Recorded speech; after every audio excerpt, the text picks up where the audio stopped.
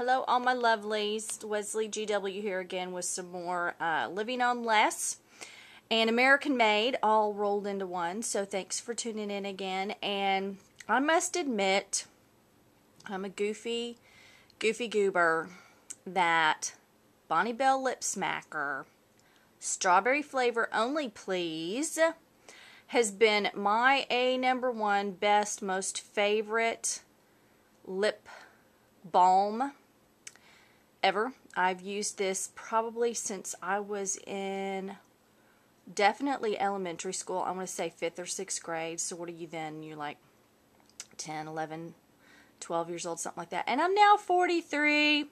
So I love the Bonne Bell Lip Smacker again in strawberry. Y'all probably remember them. They had like soda pop flavors.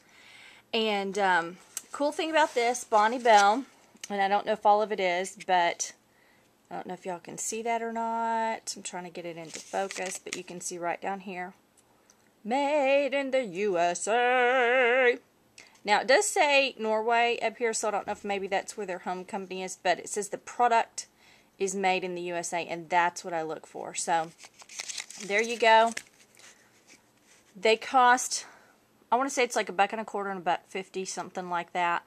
And I usually buy two of these a year and they last me the whole year.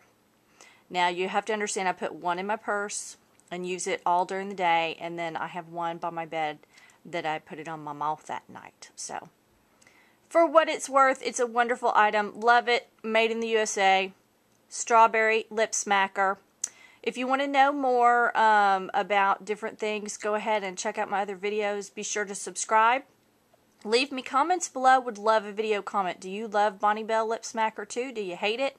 Can you not believe a 43 year old woman is still using this? Or are you just like me and we are of the Lip Smacker sisterhood? So, be good to hear from you. Bye.